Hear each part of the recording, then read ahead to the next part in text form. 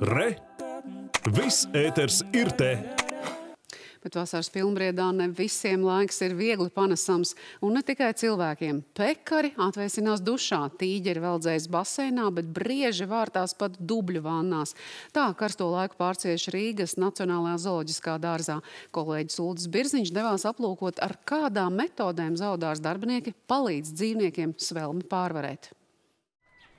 Termometra stabiņš rāda plus 27 grādus. Lielais karstums nav šķērslis tam, lai cilvēki apmeklētu Rīgas Nacionālo zooloģisko dārzu. Ir silts, jā. Mēs tikko no tropa mājas, tur bija pavisam silti.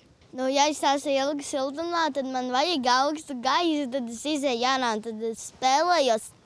Tad, kad ir karsts, tad es vienmēr vai nu apēdu saldījumu, vai arī eju uz jūru peldēties vai baseinā. Karsti ir nevien zoodārza apmeklētājiem un darbiniekiem, bet arī dzīvniekiem. Aploka būvēta tā, lai dzīvnieki paši varētu izvēlēties, kur uzturēties gan salā, gan svelmē. Jau projektējot mājokļus, tiek domāts, kurš zoodārza iemītniekiem patvērties karstumā. Būvēt nojumus, tāpat kā jebkuram dzīvniekam, tāpat kā mums patīk ēna. Otrs ir atļaut kokiem būt tur, kur koki ir, veidot dabisku noēnojumu, lai arī skaisti izskatās. Un, protams, veidot peļķes, dažādus baseinus, dušas, kam tas nepieciešams un retos gadījumos arī ledus saldē un nest klāt. Piemēram, apkakles pekari var atveicināties dušā. Tikmēr baltpūrna briežu tēviņš puika vēl dzerot dubļu vannā. Nekas nav labāks par dubļu vannu, ja?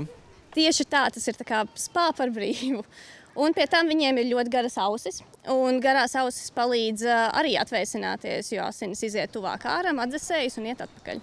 Turpat netālu amūras tīģeris augusts atveldzējas aploka baseinā. Tikmēr viņa dzīves biedra Taiga apmeklētājiem nerādās. Taiga pašlaik atrodas aiz ekspozīcijas, ko apmeklētāji nevar redzēt. Ārā viņa nāks vakarā. Tomēr ne visiem zoodārza iemītniekiem tīk ūdens. Latvijas dabā sastopamie ziemeļlūši pret ūdens atrakcijām izrādījuši iebildumus.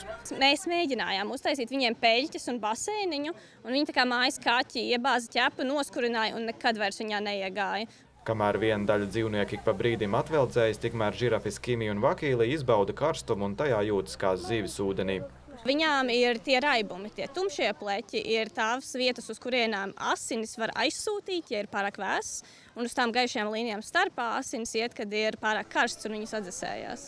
Zoodārs darbinieki atzīst, ka kopumā dzīvnieku karstumu pārcieš labi, iespējams pat labāk kā cilvēki, jo katram zoodārs iemītniekam, sākot ar putniem un čūskām un beidzot ar lauvām un tīģeriem, ir iespēja sev nedaudz atvēsināt.